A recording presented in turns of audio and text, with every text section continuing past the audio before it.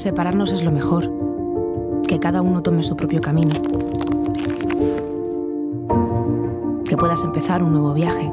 El camino puede ser difícil, pero seguro que encuentras a alguien que tiene más cosas en común contigo, que te ayuden a avanzar y a convertirte en una mejor versión de ti misma.